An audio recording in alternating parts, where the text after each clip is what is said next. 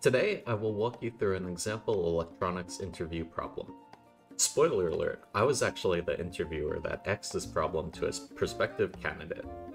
I'd call the problem's base difficulty medium, however, I did not even expect correct answers for the later part of the problem.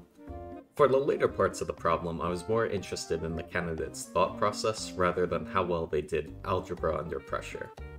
However, the circuit did come directly from a situation I encountered while working as a validation engineer, the role the interview was for. That being said, this video assumes a decent knowledge level. This is not a question I'd ask a first-time intern.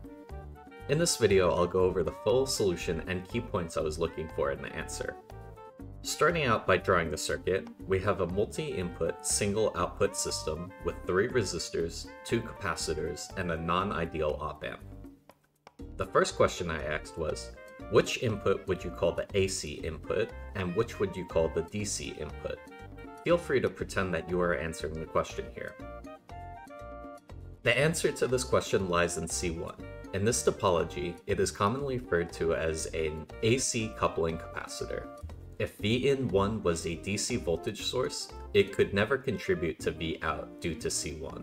Thus, Vin1 is the AC input and Vin2 is the DC input.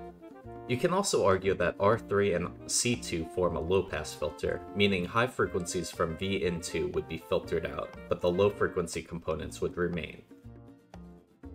The next question was, what do you think the circuit is for? This question is fairly open-ended, so I wouldn't penalize any conjectures. However, the main use of the circuit is to mix together an AC voltage with a DC voltage. That is, to superimpose an AC signal to ride onto a DC voltage. Some uses of this could be for an analog front end to a single supply ADC, or an active bias T. The actual use of this circuit was for PSRR testing, where a power supply was used for the DC input and a function generator was used for an AC input. The function generator frequency was swept, and the DUT was checked for correct operation under a range of noise frequencies and power levels. The op-amp had a large output drive current, so it could comfortably drive the power pin of the DUT. The next question is to identify which input the following transfer function plot corresponds to. In this case, there's primarily low-pass behavior, so this transfer function is V out over V in 2, aka the DC input. Next, I showed the AC transfer function and asked why the magnitude response rolls off at high frequency. If you're having trouble answering this, recall that the op-amp is not ideal. In this case, the high frequency roll-off is due to the finite gain bandwidth product of the op-amp. This prevents the circuit from operating at arbitrarily high frequencies. This is important to understand as it presents an operational limit to how high of a frequency you can test the PSRR with. The next question is to derive the transfer function of the AC input, Vin1, assuming that the op-amp is now ideal. This is a bit tricky, but there are multiple levels of response. A good first step is to do a hand-wavy argument that at DC, capacitors have infinite impedance, aka look like open circuits, and at high frequencies, capacitors have low impedance, aka look like short circuits. With this argument, you can say that at low frequency, the transfer function is zero, and at high frequency, it is non-zero. So whatever transfer function we get, it better follow that form.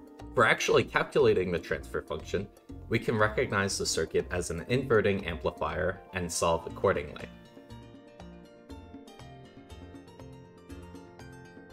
Fact-checking our equation, at DC, S equals 0, the numerator is 0, meaning that there is no output.